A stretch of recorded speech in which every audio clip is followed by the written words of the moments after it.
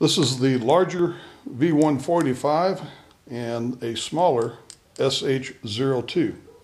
And this is easy to start. This comes with a little plastic box that has an extra wick, couple of Allen wrenches, and two spare reed valves. And this thing that screws in here that's supposed to look like an exhaust stack. My first recommendation, take this off and leave it in the box. It just gets in the way, you don't need it.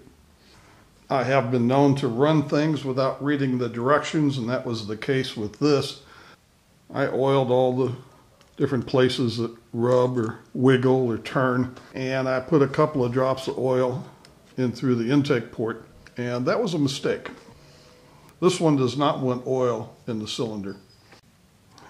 This is easy to take apart. You rotate this fuel tank all the way over here. You remove this one screw, and then you can wiggle this out, and the piston will just come out of it. Then you can reach inside with a paper towel, a little bit of alcohol, clean it all up. And they tell you to lubricate this with graphite. I didn't have any graphite, so I used molybdenum disulfide, and it's high temperature resistant.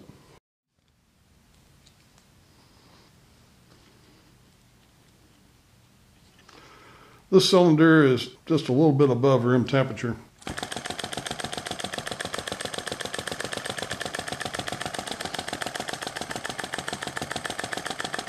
This will have to run gets up to temperature.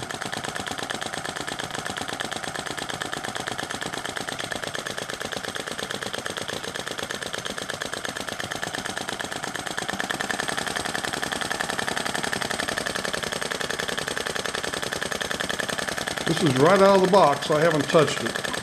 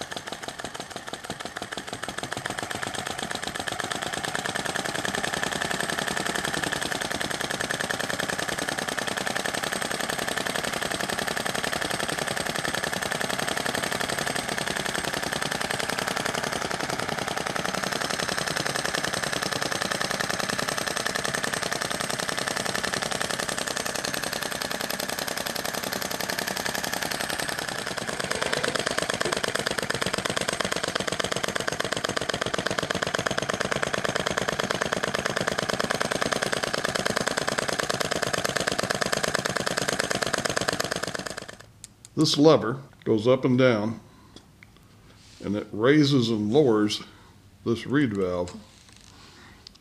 So that's going up and down every time this thing fires. And that hole in this piece of brass shim stock will eventually start to get larger, possibly egg shaped. And that will be when you need to replace that piece of shim stock. I have not put any oil in here for that reed valve. I'm running it dry. Try to get up in here and put a little oil on this wrist pin for the connecting rod without getting oil on the inside of the cylinder. A little oil here for the lower end of the connecting rod, a little oil on this cam. This cam follower is running on bearings as well, so it doesn't really need any oil, at least not for a while. And that's it.